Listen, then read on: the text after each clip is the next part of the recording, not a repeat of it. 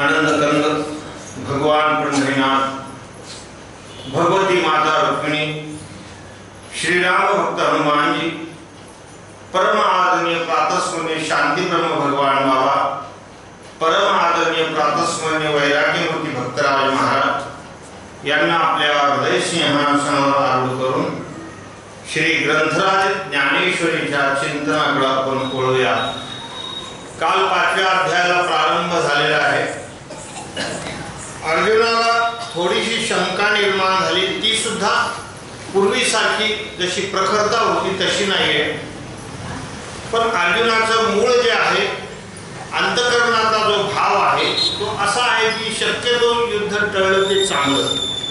असा अर्जुनाचा भाव असल्यामुळे अर्जुनाला असं वाटतं की कर्मसन्यास म्हणजे त्या ठिकाणी गुरुगृही जावं आणि सद्गुरूंची सेवा करून ज्ञान प्राप्त करून घ्यावं मोक्ष प्राप्त करून घ्यावा असं अर्जुनाला वाटू लागलं. म्हणून अर्जुन म्हणतायत की देवा एकीकडे तुम्ही त्या ठिकाणी कर्मसन्यासाचं वर्णन करता आणि एकीकडे पुन्हा कर्म कर्माचं अनुष्ठान करा किंवा उत्तिष्ठ या ठिकाणी युद्ध करण्याकरता उभा राहा. मला त्या ठिकाणी माझ्या कर्मावर तुम्ही आरूढ करत आहात. कुठलं तरी एक गोष्ट आम्हाला सांग एक होय तरी अंतकर विचारावे असं सांगितलंय. कुठलं तरी एका अंगाने सांगा आमची बुद्धी काही एवढी तल्लक नाहीये की जे आम्ही दोन्ही दोन्ही गोष्टी सहन करू शकतो कुठलं जे काही माझ्या कल्याणात असेल योग्य असेल सुखावह असेल अशा प्रकारचं काही दृष्टांत दिला की निद्रेचे सुख न मोडे आणि मार्गो तरी बहुसाल सांगते असे शोकासन सोपडे सांगडे सोपे होय. झोपेचं सुख मोड न मोडता आणि बराच बराच काही प्रवास किंवा ध्येयापर्यंत जाता आलं पाहिजे. असं एखादी तुम्ही मला साधना सांगा. त्याला भगवान त्या ठिकाणी स्मित हास्य करतायत अर्जुना अरे तुझ्या मनासारखी ज्या गोष्टी चाललेल्या आहेत. आणि त्या दिसायला दोन गोष्टी पण तसं नाहीये ते दिसायला दोन गोष्टी सांगितलेल्या आहेत आणि मूळ गोष्ट ती जी गोष्ट आहे ती ज्ञाननिष्ठ आहे. आणि ती परंपरा जी आहे ती सर्वांना करता येण्यासारखी नाही. ज्याला सांख्य योग म्हणतात ज्ञान योग म्हणतात सद्गुरूकडे जायचं ती ज्ञान परंपरा आहे. ती ज्ञान परंपरा जी आहे ती सर्वांना ती करता करता येण्यासारखी नाही. पण कर्मयोग हा जो आहे ना जैशी नाव स्त्रिया बाळा तो हे करणे नावेमध्ये जसं लहान मोठं बाळ वृद्ध वगैरे सर्वजण येतात. त्यामुळे प्रत्येकाला हा अधिकार आहे. आणि केवळ कर्मयोगानंच ते ध्येय प्राप्त करून घेता येतं. हा मार्ग योग्य अशा प्रकारचा आहे. तो मार्ग सर्वांना करता येण्यासारखा नाही. आणि तुला मात्र तिकडे त्या मार्गानं तू ध्येय प्राप्त करून घ्यावं हा आमचा उद्देश पण नाही. तू ज्या कर्मावर आरूढ आहे क्षत्रिय धर्माचा जो नियम आहे की या ठिकाणी प्राप्त झालेलं जे युद्ध आहे तुला धर्मयुद्ध प्राप्त झालेलं आहे. आणि या धर्मयुद्धाचं तू पालन करावं. फक्त तुझ्या ठिकाणी जो कर्तृत्व मत आणि फलास्वाद आहे स्वतःला जे तू सांगतोय ना की स्वदेहानाम अर्जुन परदेहानाम स्वजनू आणि संग्रामानाम मलिनू पापाचार. हा फक्त तुझा भ्रम टाकू नये हा भ्रम टाकू नये आणि तुला या तुझ्या स्वधर्मावर आलो होऊनच तुला मोक्ष प्राप्त होणार आहे. आणि याच मार्गाने सर्वांना लवकरात लवकर ध्येय प्राप्त होऊ शकतं. तो जो मार्ग आहे तो मार्ग काही सर्वांना सुलभ अशा प्रकारचा नाही. सर्वांना तत्वदर्शी महात्म्यांचं दर्शन होईल याचं काही सांगता येत नाही. सर्वांच्या ठिकाणी तेवढं प्रणिपात करण्याची त्या ठिकाणी भावना निर्माण होईल की काय सांगता येत नाही. प्रश्न योग्य निर्माण होती की नाही होती पुन्हा त्या ठिकाणी ते उपदेशांती ते ज्ञान ते ज्ञानाचा उपदेश करतील की नाही करतील? कारण ते कसं आहे अधिकार पाहून करत असतात. सर्वांना करत तेही सांगतील पुसिले. मग अपेक्षित आपुले पण तेही सांगतील पुसिले. जेणे अंतकरण बोधले संकल्पना तेही समोरच्याचा अधिकार बघत असतात त्याच्याशिवाय ते सांगत असतात याची गती काय आहे? याची साधना काय आहे? याचा अधिकार काय आहे? अधिकार जैसा कर उपदेश.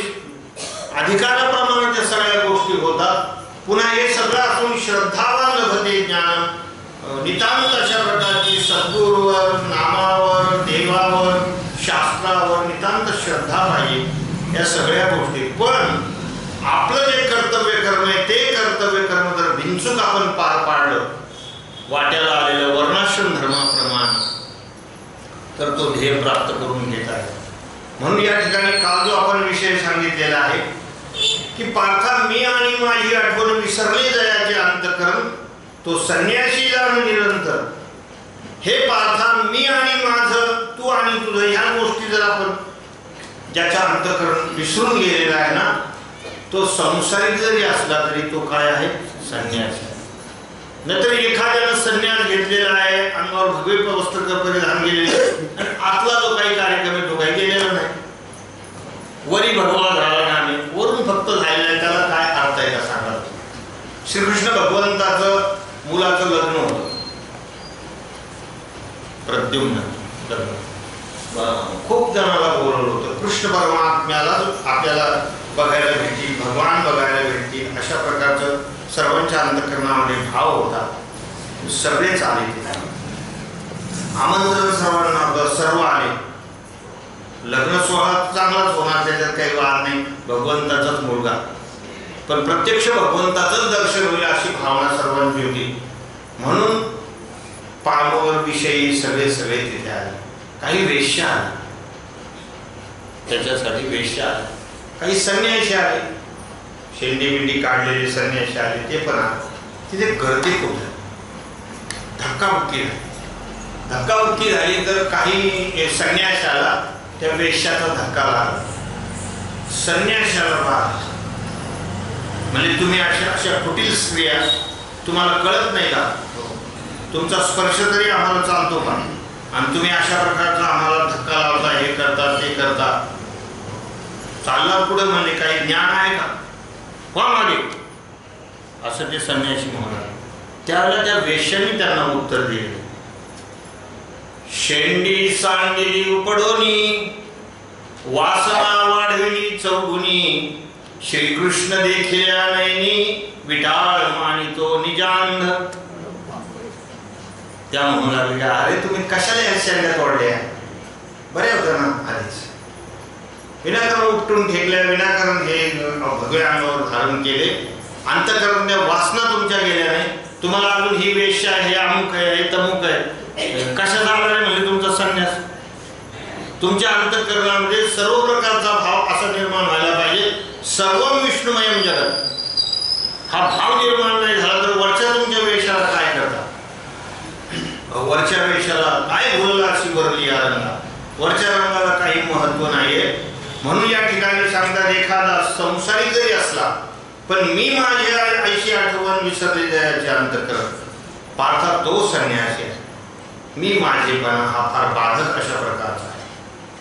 बघायला गेलं तर आपण या देहाला मी म्हणतो आणि देह संबंधानं असलेले जे काही आहे त्याला माझं म्हणत असतो. पण मुळात जर बघितलं तर देह आधी काय करा? देह संबंध पसारा बुजगावले चोरा रक्षण असे भासत असे. मुळात देहच काही खरा नाही ज्याला आपण मी मी म्हणतो. त्याच्यात आहे काय महाराज? हे सगळं नाशक पुष्क नाशाला प्राप्त होणार आहे. मरणाकडे चाललेलं आहे. क्षणाक्षणाला मृत्यूच्या काठेमध्ये चाललेलं हे शरीर आहे. एक दिवस हे संपणार आहे. त्याचा एवढा अहंकार घेण्याची काही गरज नाही. त्या देहाला मी मी मी मी म्हणत असतो. मी म्हणण्यासारखं काही नाही. त्याचा अहंकार गिरवण्यासारखं काही नाही. आणि त्या अंगाने निर्माण झालेले माझेपणा. म्हणजे माझं घर माझी गाडी माझी मुलं माझी परिवार माझं शेती हे जे जे आपण म्हणत असतो हे सगळंचे सगळं त्या ठिकाणी बुजगावण्यासारखा विषय आहे.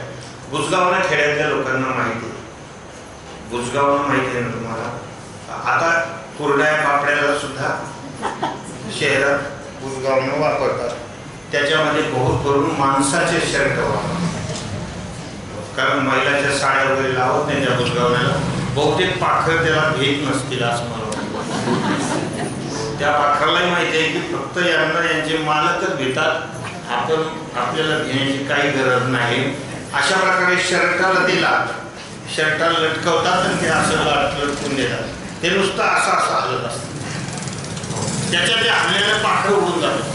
त्याला वाटतं माणूसच बुजगाव तसं आपण हे देह आणि देह संबंधी हे सगळंचे सगळं बुजगावण्यासाठी बुजगावण्यासाठी म्हणजे ते जसं खोटारड आहे तसं हे सगळंचे सगळं खोटारड कारण याच्यात काही टिकणार नाही सगळं नाश पावणार आहे. म्हणून संसारामध्ये मी आणि माझे हे सगळं जाणार असल्यामुळे याच्याविषयी माणसाला त्या ठिकाणी औदासीन्य निर्माण होणं फार गरजेचं आहे. जसं भक्ताविषयी जाणं जे तेही उदास हे जे आहे हे याप्रमाणे ज्याची मी आणि माझ्याशी आठवण विसरून गेली तो पार्था तो संन्यासी आहे. जो मने ऐसा झाला संगीतोची सांगितला म्हणून सुखे सुख पावला खंडित. ज्याचं मन अशा प्रकारचं झालेलं आहे ज्यांनी हे आसक्तीचे डोर तोडून टाकलेले आहेत तर हा जो विषयासक्त तो सहजच सोडून दिला जातो. संसारच त्याला सोडून देतो. संसारच सोडून देतो. ममत्व नाही झालं तर संसार तरी काय? ह्या जड वस्तू थोडं हे माझं मालक हे म्हणत असतो. जड वस्तू थोडं कधी म्हणत असतो हा माझा मालक. घरातून कधीतरी हा काय बोले का हे माझे मालक. आपण भारी भारी दागिने वगैरे घालतो कधी दागिना म्हणला तर हा माझा मालक आहे. तसा जर त्याला त्याच्याविषयी प्रेम असतं तर चोट्याला नेऊनच दिलं नसतं. चोट्याला तर लगेच त्याने टोचून टोचून परेशान केलं हे हे माझं मालक माझं मालक तू नाही असं झालं असतं की नाही? म्हणजे अशा प्रकारचे हे सगळं जे आहे संसार त्याचा संघ सोडून देतो संसाराला सुद्धा वाटतं हे आपलं गिराईक नाहीये. तो संगीतोची सांडीला म्हणून सुखे सुखपावला खंडित. त्यामुळं तो सुखरूप झाला. जी आपली अवस्था आहे मुळात आपण मुळात सुखीच आहोत. मुळामध्ये काय आहे? आपण सुखीच आहोत. पण आपण या संसाराचा संबंध आपल्याला आपल्या अंगावर ओढून घेतल्यामुळे देखील पुढीलाचे ओझे आपुलिया माथा घ्यायचे तरी कान दाटीले धरू धरा त्याच्याशी आपण संबंध जोडल्यामुळे हे सगळं अशा प्रकारचं दुःख आपल्या अंगावर ओढवलेलं आहे. पण हे संघ ज्यांचा सुटून गेला ना तो सुख सुखी झाला आता गृहाधिका हवे ते काही नलगे त्याच्यावे जे घेते झाले स्वभावे निसंग म्हणून. त्याला घरदार वगैरे काहीही टाकायची गरज नाही. का सांडीशी ग्रास श्रम? का सांडीशी पुरीचे धर्म? अरे आहे ते वर्ण वेगळे. भस्म उधळण जटाव वर्ण एकीकडे राहिलं विनाकारण हे प्रत्यक्षात त्या करणं काय? घरदार खटे त्याची म्हणशी तरी शरीरा एवढे जाड. घरदार सोडून काय झाला अरे घर सोडून तू त्या ठिकाणी वडात गेला वनी जाऊन त्या चिंतीशी तिथे जाऊन वनिताचं चिंतन करू लागला. तर कशाला घरदाराचा त्याग केला? प्रत्यक्षात घरदाराचा त्याग करून घरा मनातून घर ज्याचं गेलं नाही त्याला अरण्यात जाऊन काहीही उपयोग नाही. तिथे गेला तिथे सुद्धा मनात हे तर खरं तर मनोमय प्रपंचच. बाधक आहे. बाकीचा प्रपंच तुम्हाला काही म्हणा ते मनोरूप पटत आहे जे तर संसार चित्र उमटे ते मनोरूप पटत आहे साधू संतांनी जे सांगितलेलं आहे ना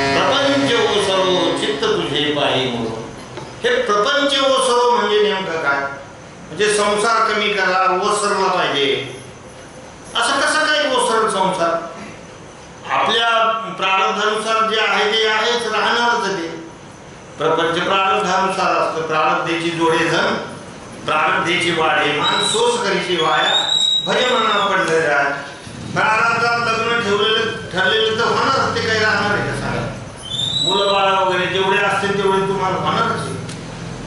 प्रारब्धात त्या गोष्टी. कोणत्या घरात तुम्ही राहणार ते ठरलेलं आहे. प्रपंच ओसरव म्हणजे प्रपंच कमी करा. कसा कसं काय करता येईल कमी? ते आहे तसं तर राहणार आहे ते कुठेही काही त्याला करता येत नाही.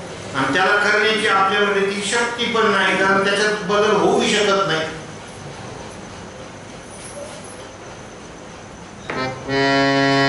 अदृष्टाधीन शरीर ते हरिहर अन्यथा संमत. शरीर ते हरिहर जरी आले ना त्याच्यामध्ये काही फेरबदल करता येत नाही. या प्रपंचाला जरी साधू संत झाले ओ सर्व कमी झाला पाहिजे कमी झाला पाहिजे पण तो कसा कमी होईल याचा अर्थ असा आहे की तो आहे तसाच राहू द्या. तो प्रपंच ओसरत नाही प्रपंच दुःखदायक नाहीये. प्रपंचाचं जे चित्र शिक्के आपण मनावर मारलेत ना ते दुःखदायक. मनोरपट आहे. मनोमय प्रपंच जो आहे ना तो मनोमय प्रपंच सुख दुःखाला कारण. तुम्ही संसाराचा शिक्का किती मनावर जोरानं मारलेलं आहे तितकं सुख दुःख आहे. एखादी चांगली घटना घडली की आपण ती मनावर जास्त घेतो की त्याचं सुख होतं माणसाला. मनावर घेतो एक मनुष्य आला म्हणजे महाराज त्या टाळी आनंदामध्ये गाडी तर टाळी तर काय करणार आपण तरी? पुढे हात केला. जोरानं चापड मागितली आपलं प्रमोशन. आपलं प्रमोशन. प्रमोशन झालं तर काही मला त्याचा काही पगार मिळेल. विनाकारण टाळी हात लाल केला विनाकारण हात लाल केला. का? तर आनंदाचा जो उमाळ आहे ना त्याचा शिक्का मनावर बसतो. आनंदाच्या गोष्टी सुद्धा अशाच असतात. आणि खूप वर्षानंतर म्हातारपणात लेकरू झालं. किती आनंद. ह्या पिढीत ह्या पिढीत ह्या पिढीत. काही तर आनंदात म्हणू लागला. हो पेढा झाला लेकरू घ्या पेढा झाला लेकरू. इतका आनंद तर हे म्हणजे काय झालं काय. तर हा शिक्का आपण मनावर जितका उमटलेला आहे मग सुखाचा असो तर दुःखाचा दुःख सुद्धा तुम्हाला वाटतं मनावर उमटल्याशिवाय त्याचे चित्र सुरू होत नाही एखादा आपलं अपतेष्ट आहे मुलगा आहे मुलगी आहे नाता आहे जवळचं बॉम्बेला त्याचं सगळं सर्व्हिस चाललेली आणि तिकडे तो ॲक्सिडेंटली मिळाला घटना पुढे घडली बॉम्बेला घडली.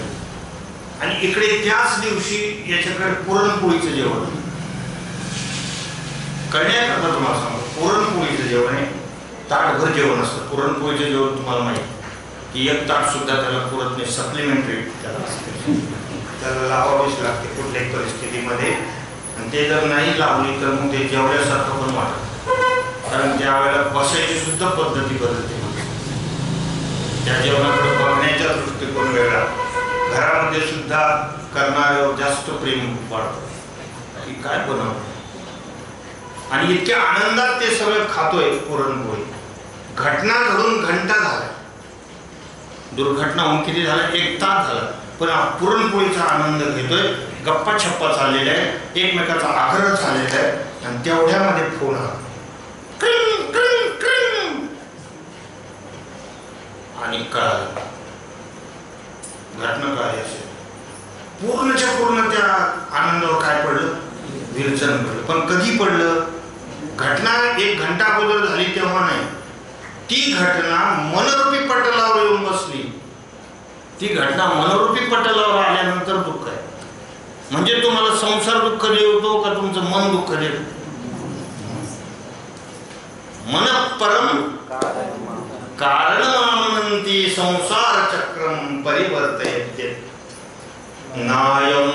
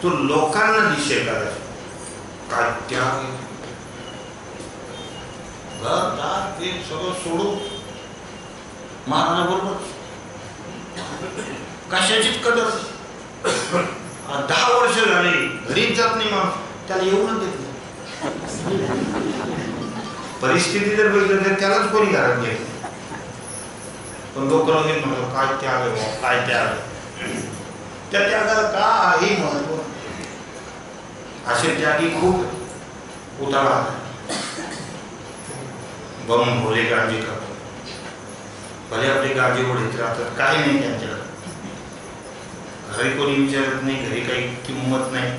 म्हणून फिरायला लागले. वैतागेल. ते काही त्यागी हे काही नाही वैतागेल लोक आहे तर सांगण्याचं तात्पर्य असं की हे जे आहे मनातून ज्यांनी सांग जो मने ऐसा झाला संगीतोची सांगेल त्याला काही गरज नाही सोडायची. आता ग्रहाची गाजवे ते काही न लगे जावे जे घेते झाले स्वभावी निसंग संघ त्यांच्या अंतकरातून निघून गेलेला घरदार वगैरे सगळं असू द्या त्या घरदार हे आपल्याला काही बाधा करत नाही. पत्नी मुलं वगैरे काही बाधा करत नाही. आपण ते मनावर किती घेतलं या सगळ्या गोष्टी त्याचं त्या बाधा असतात. देखे अग्नी विझवणी जाळे मग जे राखोंडी केवळ होय ते ते कापूसी दिवशी येते आपले माऊली दृष्टांत देतात की अग्नी पूर्णतः विझून गेलेला आहे. आणि मग ती राखुंडी तुम्ही कापसात जरी गुंडाळली तरी धोका नाही. पण जर का थोडी फुनफुन थोडी का होणे एखादी ठिंगी असली. आणि मग कापूस. धरलं ना पेट. तसे काही काही जण घरदार सोडून जातात पण त्यांची ठिंगी चालू. ठिंगी राहते ती. कधी पेट धरत त्याचा काही नियम नाही. दिसायला असे त्यागी दिसतात. काही सगळे सोडून लगे आरण्यात गेला. मला लग्न करायचं नाही काहीच करायचं नाही. लगे एका जाऊन बसले. आणि तिथे गेल्यानंतर लोकांची भावना काय त्याग आहे काय त्याग ह्या वयात एवढा त्याग ह्या त्याग आणि मग लोकांची भावना कोणी फळ आणून दे कोणी दूध आणून दे. एक जण मला महाराज रोज रोज लोकांनी दूध आणण्यापेक्षा एखादी म्हशी घ्या तुम्हाला दुधही काढता येईल सगळंच काम म्हणजे दूध जरी घडी घडी कशा आणि दिवस दूध लई भारी राहतं. दिवस काढल्या काढल्या. तर साखर टाकायची तरी काही नाही. नुसतं आपण खाली वर करून घ्यायचं. सगळे अंगातली उष्णा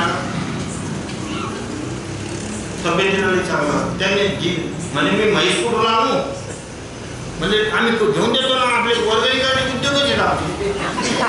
आम्हाला काय काम वर्गणी करून लगेच एक म्हैस घेऊन. आता म्हैस काय साधं दूध देते का? दहा लिटर. आणि ती एक टक्कावरती घालत लई दूध देणं चांगलं त्याने घेऊन पाहिजे असतं दूध काय होतं?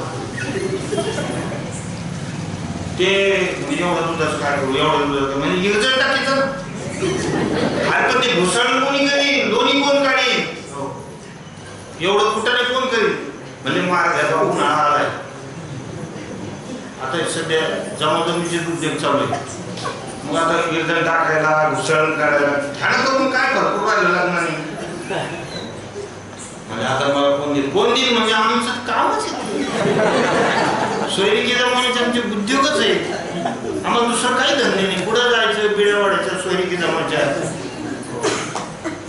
अशा प्रकारचं आमचे काम आहे. दिली जमून. आणि मग काय म्हणा शुभमंगल. मग विरजन. लोणी झालं मग डब्याची गाई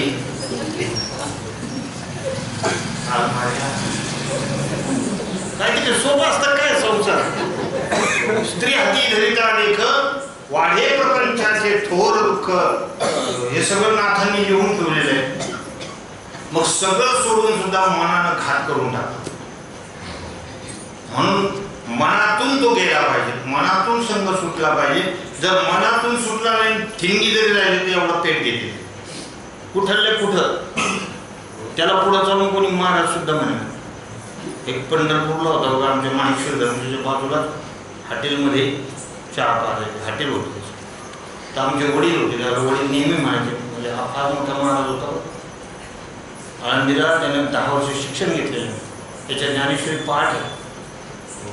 आणि हा फार मोठा होता आणि फार मोठा झाला असता पण याला दुर्बुद्धी सुटली यानं दोन हाताचे चार हात केले. त्याचे मुळात दोन पायाचे चार पायच झालं करायला गेलं दोन हाताचे चार हात आणि झाले काय? दोन पायाचे चार पाय झाले आणि आता गधण्यासारखं काम करतो. चहा पाचतो हे पासून त्याला आता तू एकही उभी त्या फक्त हाफ पाहिजे का फुल पाहिजे म्हणजे एवढंच पाहिजे. एक उभी सुद्धा द्या अशा या गोष्टी सगळ्या. पण जर का मनातून सगळं गेलं ना तर मग कापसात सुद्धा तुम्ही गुंडळून ठेवा ती राखुंडी काय होत नाही पेट घेत नाही. तैसा असदेनी उपाधी नाकळी येतो कर्मबंदी जयाची बुद्धी संकल्पना आहे. उपाध्या काय करतात त्याला? काही करत नाही. ज्याच्या मनामध्ये संकल्प राहिलेला नाही संसाराचे आसक्तीचे दोर पटून गेलेले आहेत.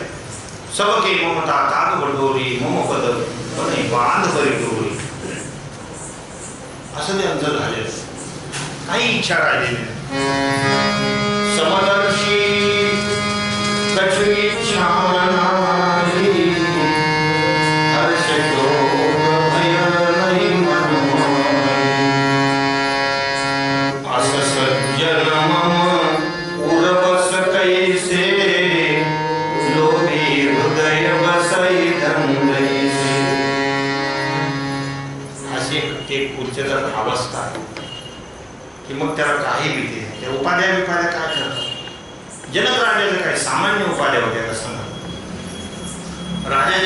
खूप मोठ्या उपाध्या आहेत. त्यांच्या अंगणात आपलं काहीच नाही.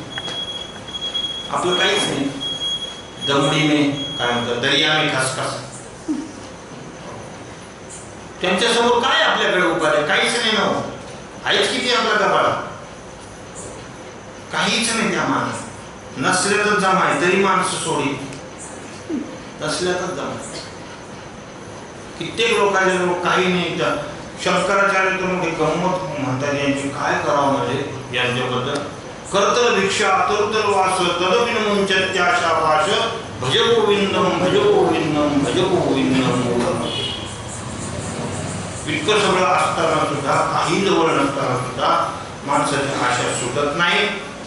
अंतकरणातून प्रपंच जात नाही.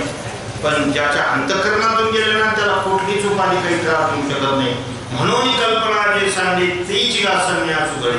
कल्पना टाका तो संन्यासच आहे. त्या संसारिक कल्पना जे आहे ना ते टाकून द्या. अरे कल्पना अविद्या तेने झाला. मायोपाधी शिव बोले कल्पना टाका. तर त्या ठिकाणी तो खर संन्यासच आहे. ये कारणे दोन्ही सांगडे संन्यास म्हणून बाबा अर्जुना हे दोन्ही जे मी तुला सांगितले ना कर्मसन्यास म्हणजे सांख्ययोग आणि कर्मयोग हे दोन्ही सांगितले. दोन्ही सारखेचे तुला कळून जाईल याच्यातला भेद म्हणून तुला वाटणार या दोन्ही गोष्टी. नाही तर काही लोक अज्ञानामुळे त्याच्यात भेद बघतात पण भर बघण्याचं काही कारण नाही. एक बघा हे शरीर जे आहे शरीर माझं नाही आत्मा वेगळा आहे शरीर वेगळं आहे शरीर वेगळं आहे. असं जे चिंतन आहे ते ज्ञान योग आहे सांख्य योग आहे. आणि शरीर आपल्याला भगवंताने दिलेलं त्याच्या अंगाने मिळालेली सगळी सामग्री याच प्रपंचाला लावायची हा कर्मयोग हा कर्मयोग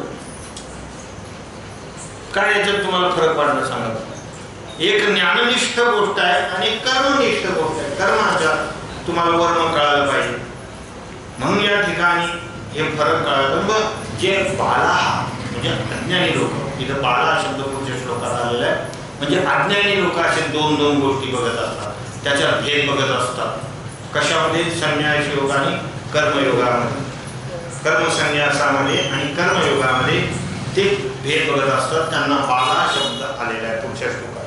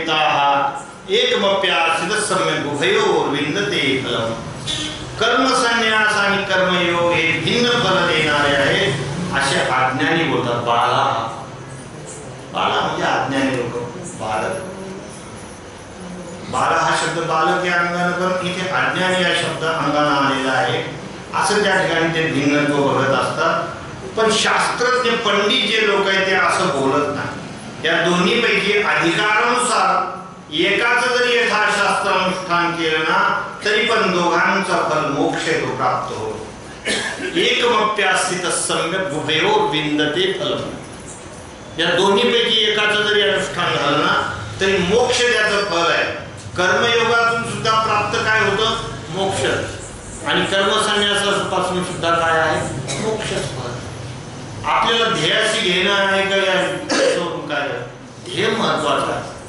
उलट भगवान सांगतात कर्मयोग फार सोपा आहे. तो जो कर्मसन्यासाचा प्रकार ना तो सगळे त्याचे अधिकारी नाही ना? ज्ञानाचे काय सगळे अधिकारी का सांगा बरं तुम्ही? विचार सागर ग्रंथ काय सगळ्यांना कळतो का डोकं उठतं बऱ्याच लोकांचं. तुकोबारे स्वतः स्वतः सांग तुका म्हणे घटापटा नका जाऊ वाटा आमची. तुका म्हणे तुम्ही करा घटापाटा. घटावर छिन्न चैतन्य पटावर छिन्न चैतन्य. सृष्टी दृष्टी सृष्टीवाद बिंब प्रतिबंधवाद अजातवाद विवर्तवाद बाद सामानाधिकरण्य सर्व सामानाधिकरण्य असे ते विचार साधारण सगळे विषय आहेत फार संख्या ओढवून जाते असं जर काही सांगायला गेलं ना सुगम उपाय बड़ भेरे सुगम उपाय गिरे नर तुम्हार वेद बड़ भेरे हा बरोबर. सुगम उपाय म्हणजे हा सुगम उपाय सोडायचा आणि तो अवघडात कशाला पडायला अवघड आहे तो विषय. तो काही सगळ्यांना साध्य होण्यासारखा नाही. निश्चिताजीनं तो ग्रंथ लिहिलेला आहे विचारसागर ग्रंथ फार अवघड ग्रंथ आहे. ते एकदम जर कोणालाच कळणार नाही. त्याला सद्गुरूकडे शिकावं लागतं. त्याच्या प्रक्रिया सगळ्या सद्गुरूकडे शिकावं लागतं. तर ते कळलं. आणि ज्यांना कळालं त्यांना सांगता येत नाही काही. अशी उत्तर आहे. त्याच्यात एखाद्याला त्या भाषेत बोलता येतं ते त्याची भाषा दुसऱ्याला कळतं. विचारसागराचे भाषा असेल तिथे त्यांच्या महिलेत सांगत राहतात ते त्यांना सगळं माहिती असतं त्यांना त्या शब्दाचे अर्थ माहीत असतात. लोकांना माहिती नसतं. मग काही लोक म्हणतात आता हे सगळं कशावरून झालंय? डोक्यावरून चाललंय डोक्यावरून पाणी फिरायला मग संख्या आपोआपच रोडावते संख्या रोडवून जाते तर लोकांना जर कळालं तर लोक येतील ना. नाही तर कशाला येतील? मग लोक सरळ दुसऱ्या दिवशी म्हणतात तुम्ही जा आहोत आज जरा पाहुणे कशाच पाहुणे कशाच? ते समजत नाही म्हणून लोक असे म्हणतात तुम्ही जा बोल मी एकदा पाथर्डीला गेलो होतो आमचे गुरु महाराज परम प्रातस म्हणून कोण करा ते रामकथा करता मला बोलवलं तर सात दिवस पेटी वाजवण्याचं काम त्यांनी केलं. किती प्रेम असेल माझ्या एवढे मोठे थोर महात्मा पुरुष. पेटीची साथ. आम्ही म्हटलं काका आता हे रामायण वगैरे चालू येतं त्यांनी मला सांगितलं की दुसऱ्या दिवशी किती लोक येतात त्यावर कळतं पहिल्या दिवशी रामकथा कशी झाली. त्यांनी जर संख्या रोडावू लागली तर आपल्याला दुसऱ्याला विचारायची गरज नाही. आपल्याला काही गरज नाही दुसऱ्याला विचारायला आपली पावती आपण काढून घ्यायची कारण वेळ बसत नाही. असं सरळ सरळ. पण त्या सात दिवसामध्ये लोक टिकून राहिले थोडेफार वाढले पण कमी झाले नाही. काकांना रोज म्हणतो काका दहा पाच वाढू मग चांगलंच चाललं याचा अर्थ असा आहे.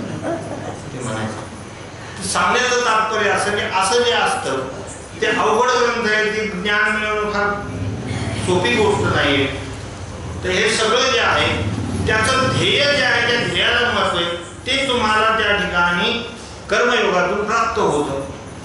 म्हणून या दोनाच्या मध्ये जे अज्ञानी लोक आहेत त्याच्यात भेद बघतात. एरवी तरी पार्था जे मूर्ख होती सर्वथा ते सांख्य योग संस्था जाणून केली हे पार्था जे मूर्ख आहेत ना त्यांना सांख्य आणि योग हे दोन्ही लोक कळत ते त्याच्यात भेद बघत असतात. भेद बघणारे म्हणजे सहसा मूर्ख असतात. तसं माऊलीच्या वाङ्मयामध्ये हे मूर्ख वगैरे थोडे असे शब्द आले बाकी अशी प्रखरवाणी तो खूप आहे. माऊली फार फार लागले तर मूर्ख. एरवी तरी मी मूर्ख किंवा नियनशीची गावंडिया. माऊलीची फार सोपे भाषा ते कुत्र्याला कुत्रे नाही. ग्रामसिंहाची अट आता. अजून किती मवाळकी पाहिजे? कुत्र्याला सुद्धा ग्राम ग्रामसिंह म्हणजे या खेड्यातला राजा खेड्यातला सिंह कोण? कुत्र. आपण त्याला काय म्हणू? कुतरड. अशा प्रकारचं आपलं बोलणं आपण माणसाला राहतो बोलत त्याचं कुत्र्याला काही बोलावं माणसाला म्हणतो ए गाड्या माणसाला माऊलीनं कुत्र्याला सुद्धा कुत्र म्हटलेलं नाही अशी माऊलीची मोवाळकीची भाषा आहे. पण त्यांच्या ग्रंथ फार याच्यातले जे शब्द आहे त्याची रचना कोणाच्या अशा मनामध्ये अशा गुदगुल्या झाल्या पाहिजे अशा शब्दाचा वापर? अशा शब्दाचा वापर. कोणाच्या मनाला दुःख होईल अशा प्रकारची माऊलीची वाणी वाणीच नाही. ते मुख वगैरे म्हणजे की कधी प्रसंग आला म्हणून तो शब्द आहे. बाकी प्रखरतेनं कधी बोलावं? जरी माऊलीने कदाचित असे शब्द वापरले त्याच्यामागे लगेच माफीचं सोडा. लगेच माफीचं सोडा. हे चुकून झालं. म्हणून तुम्ही या ग्रंथामध्ये बारकाईनं बघा त्यांचं बोलणं त्यांचं कसं आहे ते. याच्यावरून हे जरी शिकलं की कसं बोलावं. तरी खूप झालं. ज्ञानेश्वरी ऐकून एवढं जरी शिकलं माऊली सारखं बोलायचं शिका. झालं आपलं काम. इतकं सोपं आहे. आपल्या जीवनाचं कल्याण करायचं असलं तर माऊली कसं बोलतायत? एवढं जरी आपण शिकलो तर पुष्कळ झालं. खूपच मवाळ आहे. खूपच मवाळ आई आपल्या लेकराला इतकं गोड बोलू शकत नाही हो. आई सुद्धा वैतागून एखाद्यावर काय काय बोलते त्या लेकरात मुर्द्या मेल्या काही पण म्हणते. आई सुद्धा त्रागा आला पण माऊलीला कधी त्रागा नाही आला कधी रागावलेले नाही. इथे म्हणतात की बाबा ते जे आहेत ना त्यांना मूर्खांना हे माहिती नाही. अं, ते बाल आहे, अज्ञानी आहेत म्हणून सांख्य व्यवस्था आणि जाणी केली. सहजे ते अज्ञान म्हणून म्हणती ते भिन्न. केवळ दीपाप्रती काही आनंद प्रकाश सहज त्यांच्या ठिकाणी आज्ञा असल्यामुळं ते या कर्ममार्गामध्ये कर्म मार्गामध्ये या संन्यास मार्गामध्ये भेद बघतात. तसं भेद नाही बरं ध्येय एकच आहे लोकांचं कशाचा आला भेद त्याच्यामध्ये? अर्जुना तुला सुद्धा तुला गैरसमज झालाय त्याच्यात काही भेद नाही. एकच अशा प्रकारचं ते आहे. मला सांग की दीपाप्रती काही आनंद प्रकाश आहे? दोन दिवा लावलेले दोन पंचायत आहेत. प्रकाश वेगवेगळा आहे का दिवे वेगवेगळे. याच जे जे आहे त्याला प्रकाशच म्हणतो याला काय म्हणतो? पाक्या. हे प्रकाश आहे ते काय पाक्या आहे का दोन्ही प्रकाश दोन्ही प्रकाश तर सांगण्याचं तात्पर्य की हे जे हे भेद ते ऐक्य भावी मानती का?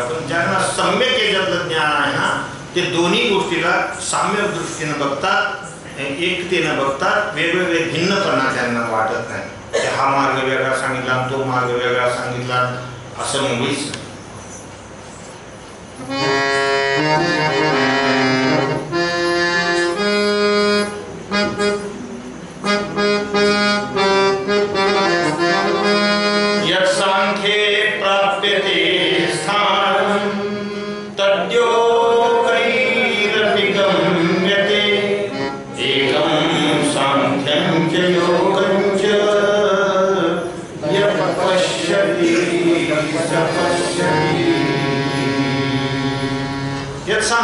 प्राप्यते स्थानं तद्योगैरपि गम्यते एकं साङ्ख्यं च योगं च यः पश्यति स पश्यति।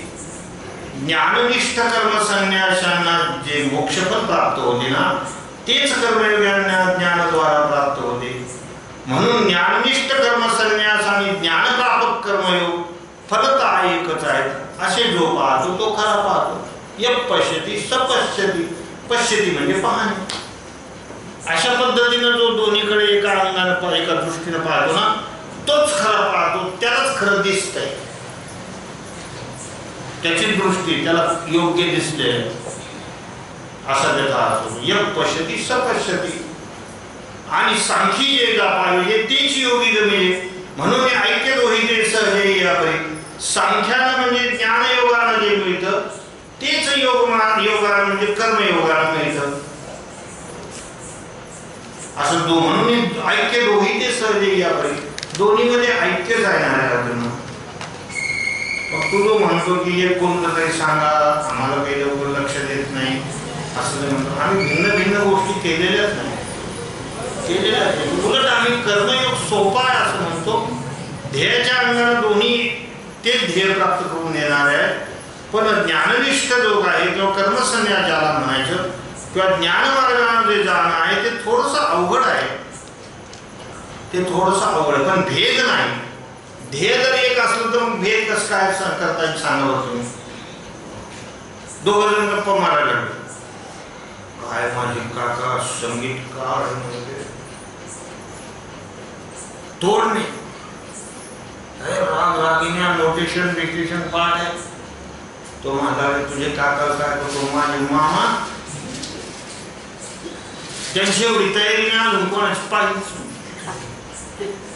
लय जहाजे गेलं काय त्यांनी अभ्यास केला असून काय कोणता राग काढा सगळं रोटेशन बिटेशन पीठ आणि तो म्हणला तो मामा किती बी असले ना तरी माझ्या काकाची बरोबर नाही करू तो म्हणतो काका किती जास्त शहाणा असला ना तरी माझ्या मामाची बरोबर नाही बी हमरा तुमले ते मामा मामा का मा गोष्ट भेट झाली कधी तरी त्यांची मग तिथे एक तिरायत माणूस होता म्हणा "अहो, तुम्ही कोणाबद्दल बोलू राहिले?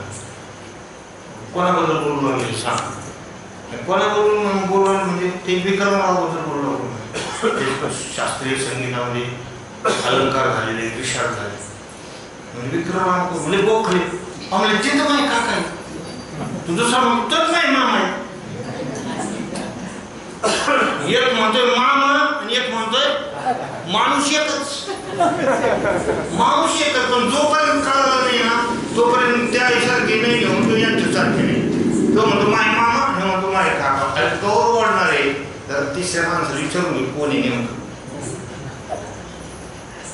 तसं हे जे ना अज्ञानी लोक बाला हे म्हणतात नाही नाही कर्मसन्यास कर्मयोग वेगळा एक म्हणतो मामा एक भगवान एकच आहे ते दोन्ही. दोन्ही एकच आहे. तर नीट समजून घ्या या गोष्टी. विनाकारण काही ताणाताणी करून घेऊ नका. थोडं समजून घ्या याच्याबद्दल काय आहे ते. देखे आकाश आणि अवकाश भेदू नाही जैसा. आकाश आणि अवकाश. कोणी याला पोकळी म्हणून आणि कोणी म्हणा आकाश. काय आहे त्याचं?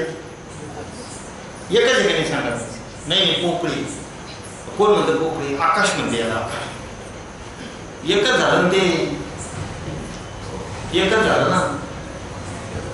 बोलायची भाषा आहे फक्त ती. बाकी त्याला काय अर्थ आहे त्या गोष्टी सांगा. तैसे ऐक्य योग संन्यासा ओळखेलो. त्याप्रमाणे योग आणि संन्यास. हे एकच आहे. हे जाणून घ्या. तयाशीच जगी पाहले आपण ते देण्याची देखील. त्यालाच आपण म्हणजे आपल्या स्वरूपाचं ज्ञान होतं. त्याच माणसाला कोणत्या माणसाला? ज्या सांख्ययोग जाणवले भेदे ज्याला सांख्य आणि योगातला भेद वाटत नाही दोघातला भेद मिटून गेलेला आहे. अहो, भेदच मिटणं फार महत्वाचं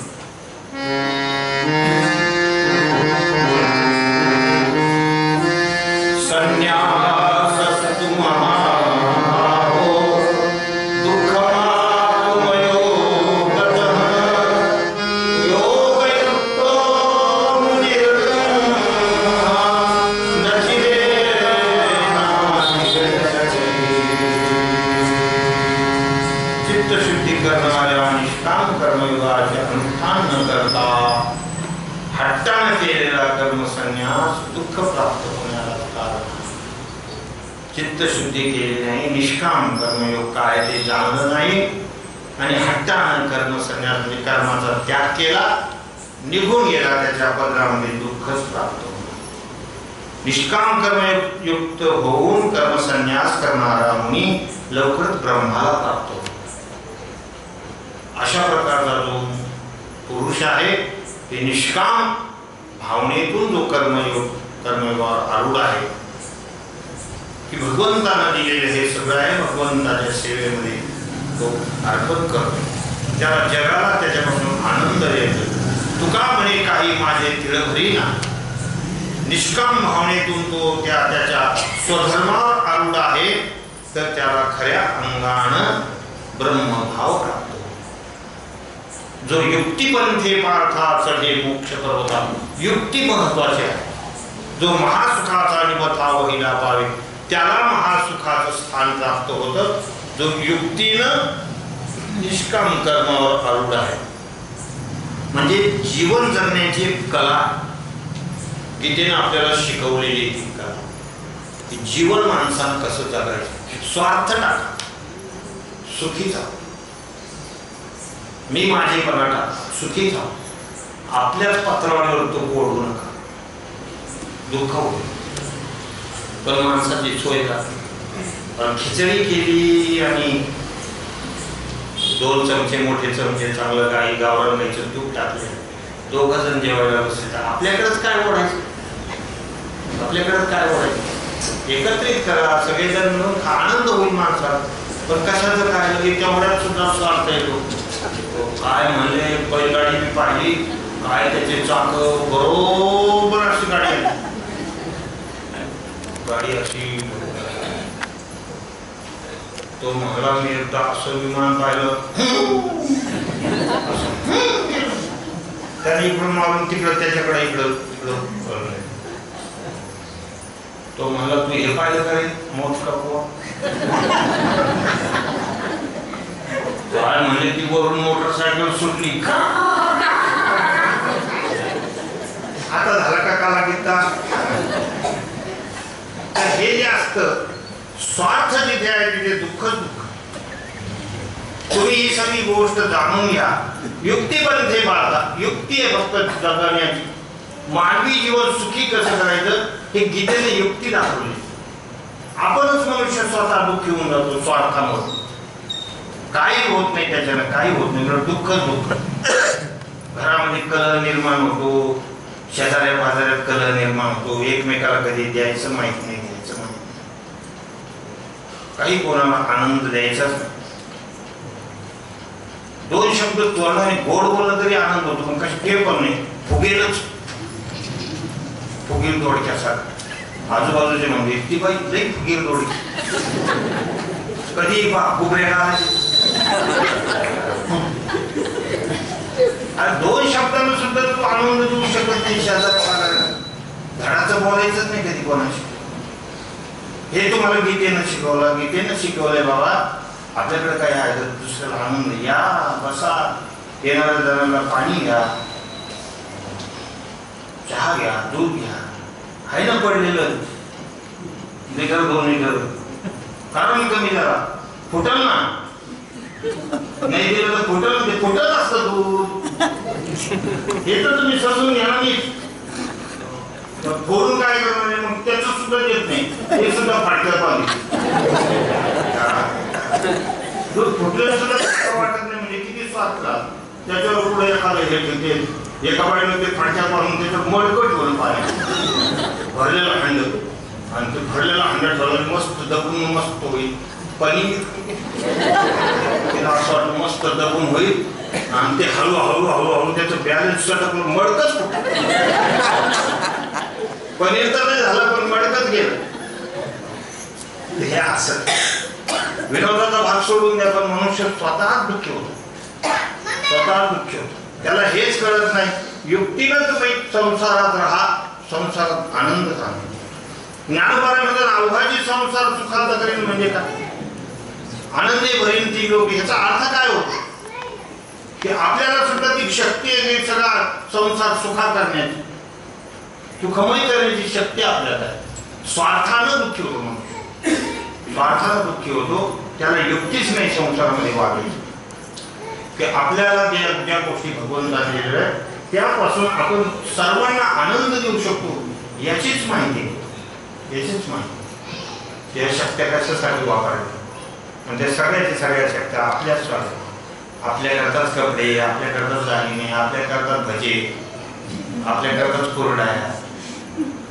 काय आपल्याकरता दुसऱ्याला एक दोन भजे फोका पण तुम्हाला दुसऱ्या देण्यात काय आनंद येते तुम्हाला कळेल ना कमीत कमी. त्यागात शांती बाबा भोगात शांती नाही सांगितलेली गीतेने त्यागात शांती त्याग करतच ती शांती आहे. भोगात शांती नाहीच आहे. भोगात दुःखच दुःख आहे तुमच्या पदरामध्ये.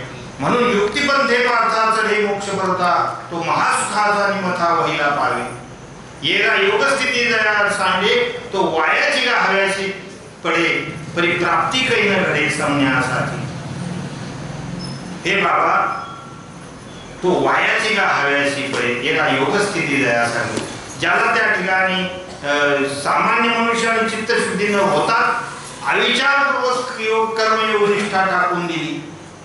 अविचारपूर्वक निष्काम भावनेतून कर्म टाकून गेले दिले ना तर त्या माणसाला विनाकारण हव्यासात पडला आणि दुःखी झाला. तो संन्यासाच्या हव्यासात व्यर्थ पडला.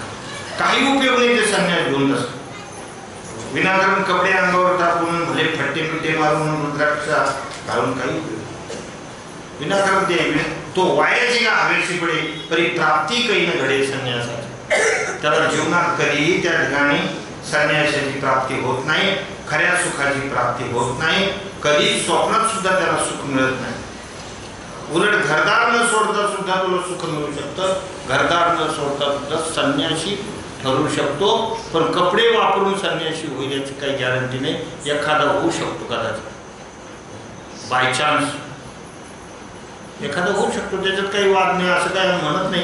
बघ कपड्याला लई मागं लागले हो. मागं कपड्यात लई मागं लागले. असं काही नाही होऊ शकतं एखादं. पण सांगण्याचं तात्पर्य असं होईलच. असं काही त्याचं होईल असं काही नाही. एखाद्याला हे सोडून देतो नाही का? असं विनोदाचा भाग आहे तो तर हे गीता आपल्याला काय सांगते ते आपण समजावून घेऊ. उद्या पुन्हा आपण राहिलेला भाग बघणार आहोत. उद्या फार महत्त्वाचा विषय पुन्हा येणार आहे. योग युक्तो विशुद्धात्मा विजितात्मा जितेंद्रिय सर्व भूतात्मक होता किती विशेष होता योग युक्तो म्हणजे निष्काम कर्माचे अनुष्ठान करणार.